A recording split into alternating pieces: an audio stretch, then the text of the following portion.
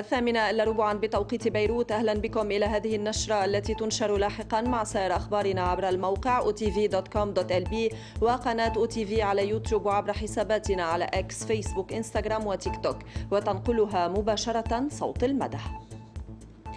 حالة الانتظار جزء من المعركة وردنا آت وحدنا أو في إطار جامع لكامل المحور.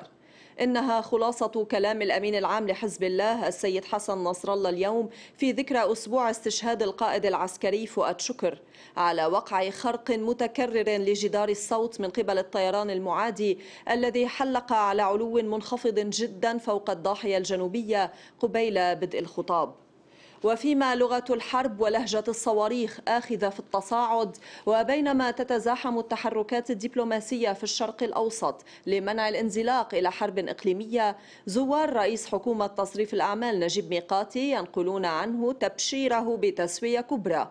فسرتها أوساطه عبر ال OTV على أنها تعني باختصار التطبيق الكامل للقرار 1701 الذي من شأنه أن يترجم استقرارا طويل الأمد. سبق أن تمت مقاربته خلال ما تم بحثه مع الموفد الأمريكي آموس هوكستين طيلة الأشهر الماضية حول حل للحدود البرية بين لبنان وفلسطين. وأكدت أوساط ميقاتي للأو تي في أن شوطا كبيرا قطعته المفاوضات مع الجانب الأمريكي وإن لم تصل إلى خواتيمها بعد بسبب استمرار الحرب في غزة مشيرة إلى أن الإطار العريض للتسوية قد وضع وهو بانتظار بعض اللمسات الأخيرة عليه لإنجازه حين تنضج اللحظة الإقليمية. أما في الشأن السياسي الداخلي فجبهة الإسناد اللبنانية لا يبدو أنها بحاجة إلى رئيس ولا إلى حكومة أصيلة ولا حتى إلى مجلس نيابي يمارس دوره خصوصا أن عطلة الصيف أرخت بظلها حتى على عمل اللجان. غير أن الجمهورية اللبنانية لن تغيب طويلا فسيأتي يوم تقف فيه الحرب لتنهض البلاد من جديد. ربما في انتظار حرب أخرى إذا لم تنتج المأساة الحالية حلا شاملا في إطار إعادة رسم خريطة المنطقة التي تحدث عن أهميتها السيد نصر الله في كلمته اليوم. أكد وزير الخارجية في حكومة تصريف الأعمال عبد الله أبو حبيب خلال مؤتمر صحفي مشترك مع نظيره المصري بدر عبد العاطي أنه يجب تنفيذ القرار 1701 بشكل كامل وانسحاب إسرائيل من الأراضي اللبنانية. والخطوة الأولى باتجاه وقف التصعيد تتم عبر وقف العدوان الإسرائيلي في غزة. وشدد على أن لبنان أمل في استمرار مصر بلعب دورها التاريخي محذرا من تمادي إسرائيل باعتداءاتها على لبنان وغزة. تستمر مصر في حثها لكافة أطراف الصراع والنزاع بالعمل على الالتزام بضبط النفس وتجنب انزلاق منطقتنا إلى حرب إقليمية شاملة. كما أكدت أيضا لأخي معالي الوزير دعم مصر لكافة الجهود الدولية الهادفة إلى التوصل إلى التهدئة في جنوب لبنان ونعيد التأكيد مرة أخرى على دعم مصر الكامل لتنفيذ قرار مجلس الأمن رقم 1701 الخاص بلبنان ونؤكد على ضرورة التنفيذ الفوري لهذا القرار بشكل كامل وغير مجتزئ ودون إدخال أي تعديلات عليه وأن تتولى وأن يتم تنفيذه من جانب كافة الأطراف المعنية سواء كانت بطبيعة الحال لبنان أو الأطراف الأخرى. أن لبنان يسمن عاليا الاتصالات التي تجريها مصر مع مختلف الأطراف المعنية لاحتواء التصعيد ويأمل مواصلة دعمها له خلال المرحلة المقبلة وخصوصا فيما يتعلق بتأمين مظلة حماية عربية للبنان جراء النيات والخطط العدوانية الإسرائيلية لتوسيع رقعة الحرب وسعيا للتنفيذ الكامل لقرار مجلس الأمن رقم 1701 وانسحاب إسرائيل من الأراضي اللبنانية المحتلة ووقف خروقاتها للسيادة اللبنانية. أما التصعيد الإسرائيلي الأخير في المنطقة فأنه يقوض الاتصالات والجهود التي تبذله مصر للتهدئة. ويضرب بعرض الحائط مبادرة الرئيس الأمريكي جو بايدن لوقف إطلاق النار وقرار مجلس الأمن رقم 2735 الذي تبنى هذه المبادرة. ويعكس نيات إسرائيل بإطالة أمد الحرب وتوسيع رقعة الصراع. إن الخطوة الأولى باتجاه وقف التصعيد هي وقف العدوان الإسرائيلي على قطاع غزة من أجل أن تحمي المنطقة كلها من تبعات اشتعال حرب إقليمية. إذا أن توسع رقعة الحرب أصبح جديا في حال لم يتحرك المجتمع الدولي والدول المعنية بشكل فوري وفاعل لوقف جرائم الحرب التي ترتكبها إسرائيل.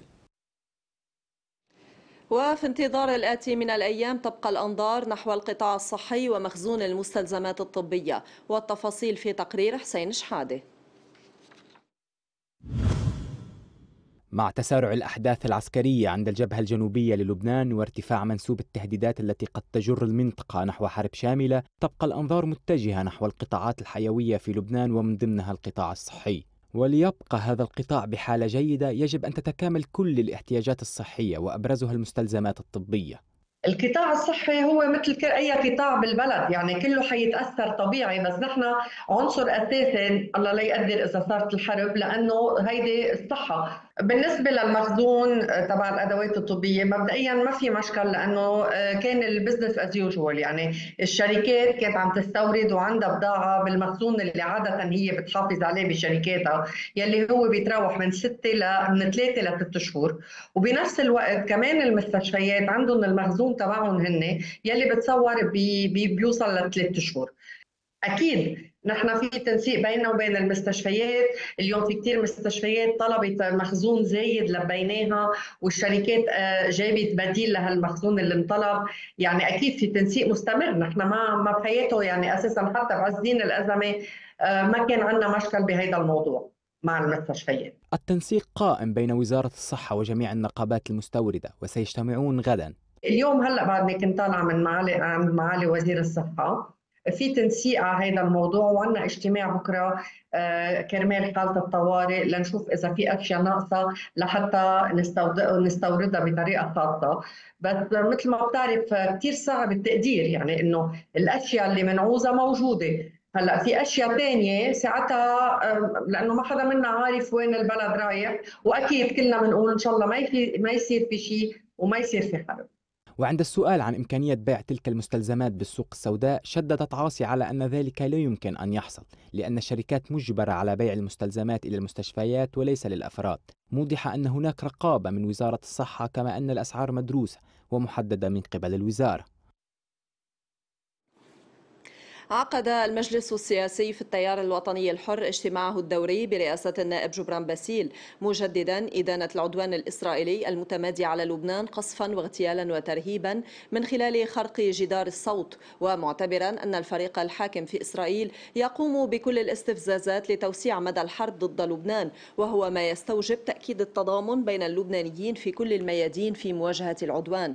ورأى التيار أن الموقف الإسرائيلي الرافض لمبدأ قيام دولة فلسطينية وإجهاض كل مفاوضات وقف إطلاق النار دليل على أن إسرائيل لا تريد أي شكل من أشكال السلام بل تسعى إلى توسيع الحرب وتفجير الأوضاع على أوسع نطاق في المنطقة بدءا من تدمير غزة وقتل وتهجير أهلها وهو ما يستحق موقفا عربيا موحدا لمواجهة خرب خطر الحرب الكبرى. وعلى خط آخر بحث المجلس السياسي الوضع التنظيمي في التيار في ضوء تطبيق الأنظمة بما قضى بفصل اثنين من نوابه بعد صدور قرارات بذلك بناء على توصية هيئة الحكومة وأكد المجلس السياسي بالإجماع تأييده للقرار وضرورة التشدد في تطبيق الأنظمة لضمان الانضباط الحزبي وعدم التساهل مع أي مخالفة تمس الالتزام وعدم التسامح مع من يريد التلاعب بالتيار من داخله والمس بهيبته ونظامه الداخلي. وعلى وقع التوتر في المنطقة حذر عاهل الأردن الملك عبد الله الثاني خلال اتصالات هاتفية بالرئيس الفرنسي إيمانويل ماكرون ورئيسة وزراء إيطاليا جورجيا ميلوني ورئيس وزراء كندا جوستان ترودو من خطورة توسع دائرة الصراع في الإقليم. وبحث الملك عبد الله مع ماكرون وميلوني وترودو في الجهود الدولية المبذولة لوقف التصعيد في المنطقة على ما أفاد بيان صادر عن الديوان الملكي داعيا إلى تكثيف المساعي لوقف كل ما يهدد أمن المنطقة واستقرارها إطارها من جهة أخرى أكد الملك عبد الله الثاني لماكرون وميلوني وترودو أهمية الدفع باتجاه التوصل إلى وقف فوري ودائم لإطلاق النار في غزة وحماية المدنيين ومنع تفاقم الكارثة الإنسانية. فاصل قصير ونتابع بعده النشرة.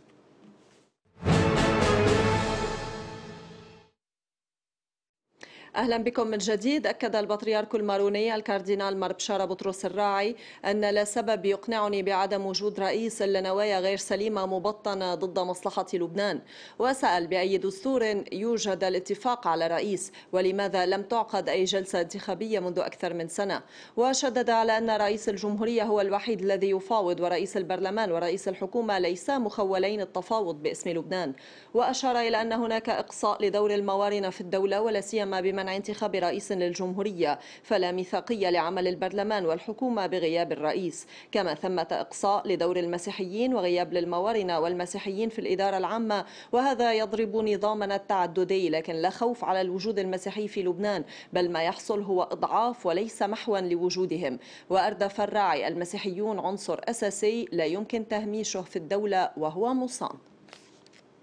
نفى المكتب الإعلامي في وزارة الطاقة صدور أي بيان عنه يشير إلى إجراءات تقييد ستحصل في الأيام المقبلة تتعلق بساعات فتح محطات الوقود وكمية الليترات التي يمكن شراؤها لكل سيارة. مبديا استغرابه نشر مثل هذه الأخبار التي لا تخدم سوى مصالح العدو الصهيوني وأصحاب النفوس الرخيصة في الداخل اللبناني.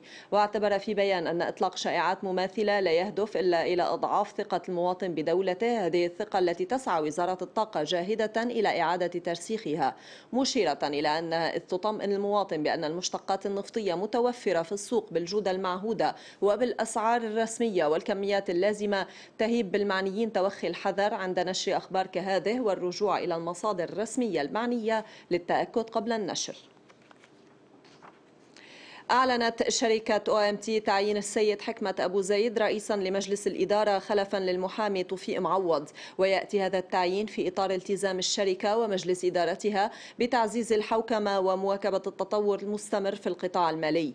وفي بيان لها أوضحت OMT أن أبو زيد يتمتع بخبرة وازنة في القطاع المالي وقد تم تعيينه عضوا تنفيذيا في مجلس إدارة OMT بعد عودته من الخارج عام 2009 حيث عمل على تطوير خطة إعادة هيكلة الشركة لتعزيز تعزيز مكانتها وريادتها في تقديم الحلول المالية في لبنان.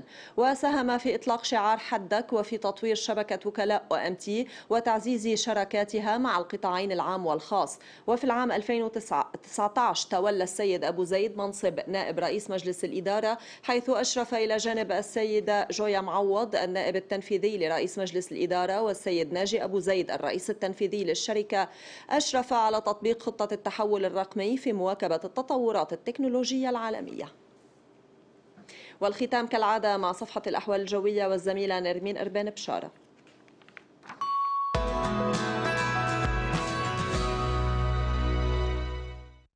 مساء الخير. طقس صيفي عم بيسيطر على لبنان والحوض الشرقي للمتوسط بيستمر للأيام القادمة مع درجات حرارة ضمن معدلاتها الموسمية على الساحل بينما بتتخطى معدلاتها بالمناطق الداخلية. اذا جونا لبكرة قليل الغيوم وكيف رح تتسجل درجات الحرارة بمختلف المناطق اللبنانية بنشوف سوا. نبدأ من الشمال وعكار عم بتسجل 33 درجة طرابلس أيضا 33 العاصمه بيروت 32 درجة وصور 33 ننتقل إلى بعلبك اللي عم بتسجل 37 درجة لقلوق 23 زحلة 35 وجزين 30 درجة.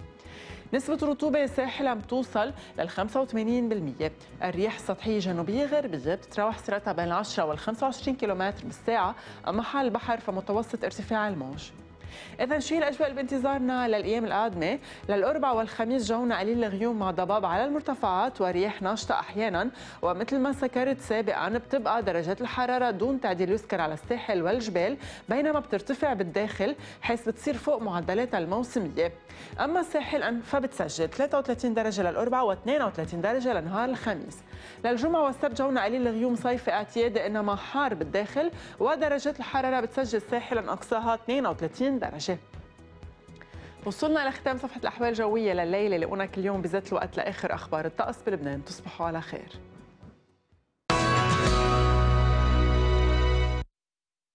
نشرتنا انتهت. شكرا لحسن المتابعة. للمزيد تابعونا عبر الموقع otv.com.lb وعبر حساباتنا على مواقع التواصل الاجتماعي. إلى اللقاء.